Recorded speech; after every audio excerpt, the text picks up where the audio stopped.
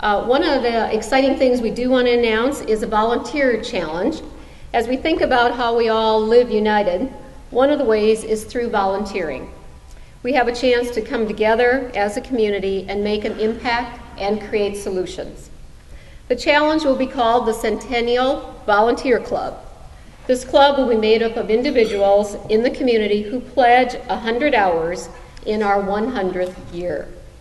This means that if you pledge to do 100 hours of volunteer work for various organizations, we'll track your efforts and hopefully we'll have a good number to announce about that when we get to campaign celebration next year.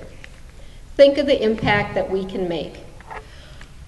Uh, we actually have 34 individuals who have already signed up and pledged 100 hours. Let's see how many we can get by the time we get through 2014.